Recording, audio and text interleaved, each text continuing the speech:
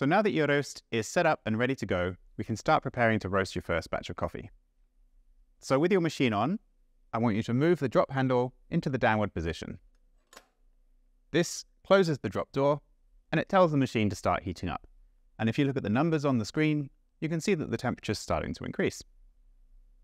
Now, while the machine is warming up, I want to briefly show you around the web portal which we use for controlling the roast. You can access this from basically any device. You don't have to be connected to the same Wi-Fi network. You don't even have to be in the same country. Uh, all you need is an internet connection. So, all you have to do is go to front.roestcoffee.com and log in. You should have been given a link to create your account when you first bought the machine. If you don't have that yet, then please get in touch with us at support at roestcoffee.com and we'll help you out. So once you're logged in, it takes you to the home screen. And if you're lucky enough to have more than one ROEST machine, this is where you can choose which one you're working with. So click on your machine, and then it will bring you straight to the live view, which is where you can watch your roasts in real time. But since we're not roasting anything right now, this is blank. So we're going to leave this page for now and come back to it later. Right now, I'll just very briefly show you a couple of the other parts of the web portal, and then we'll go and create a profile for your first roast. So, you can access all of the different features of the web portal from the menu bar up at the top here.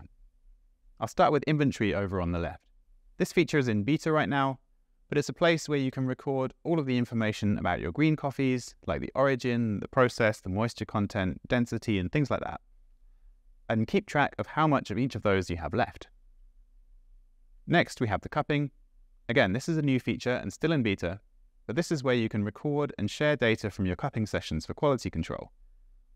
There's a really nice web interface for taking notes on your phone while you cup, and all of the data from your cuppings gets automatically linked with the coffee in the inventory and in your roast logs.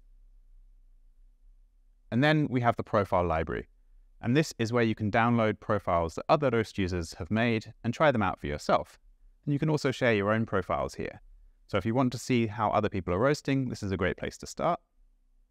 But for right now, we're going to make our own profile. So click on Profiles up on the top right. And this is where you can find all of the different roast profiles assigned to your machine.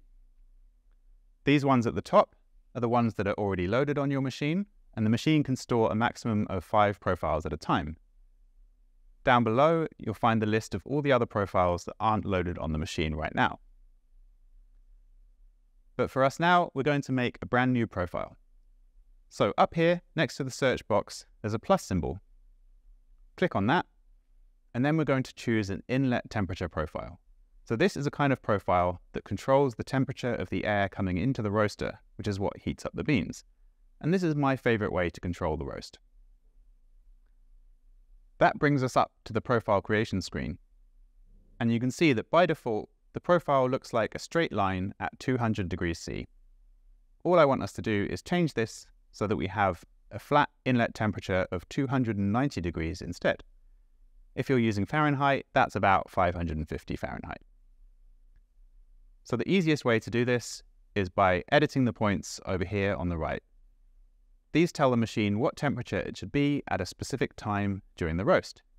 So next to time zero at the start of the roast, click on where it says 200 C and edit it to be 290.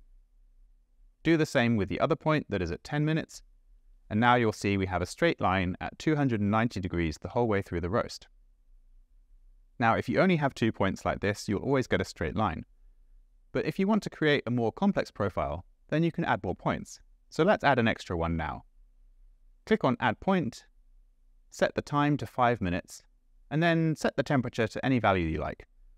I'll put 100 degrees for now and then click OK. Now that you can see that with this third point, we've created a curve the ROEST automatically fills in all of the steps in between to create a smooth curve. So with just a couple of points, you can make quite complex shapes.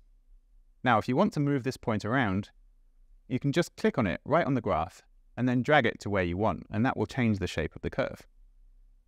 If you want to add even more points, you can just double click on the line.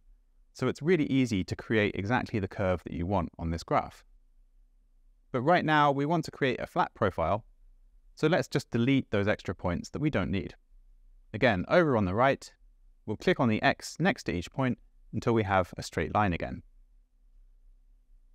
Now, a straight line profile like this might seem pretty simplistic, but if you're working with beans that you don't know anything about, it's a really great way to see how they behave during the roast. And even though the straight line profile is really simple, this type of profile can produce pretty tasty coffee. In fact, it's the way a lot of commercial coffee is roasted. With a flat profile, the only thing you need to do is make sure that you drop the coffee at the right moment. And luckily, the machine can take care of that for you as well. Over here on the left, you can choose the end condition. This is how the machine decides when it's time to end the roast.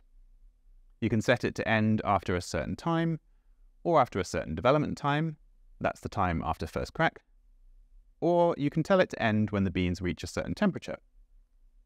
But for now, let's pick the one called development time percentage.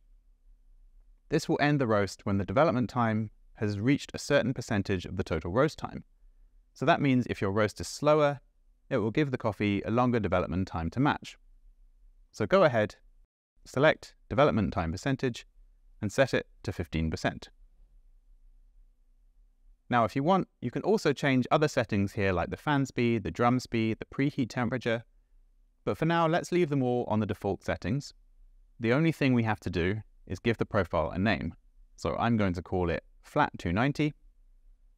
And then you can click on create profile down on the bottom right.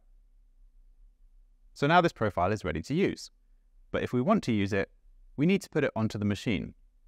So click on profiles at the top to go to the full list of profiles. And now find the profile we just created, and on the right, click on the up arrow to send it to the machine. Remember, the machine only has five slots, so if it doesn't have a slot free, it will ask you which profile you want to replace when you upload it.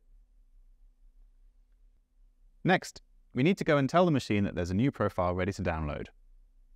So, on the touchscreen on your machine, first tap on the timer to go to the main menu, and then tap on Profiles. This menu is where you can choose which profile the machine should use. Click on Download at the bottom, and the machine will update all of the profiles that it has loaded. Once it's finished, you can tap anywhere on the screen to close the window, and now you can select the profile that we just made. The ROEST will go back to the home screen, and now we're ready to roast.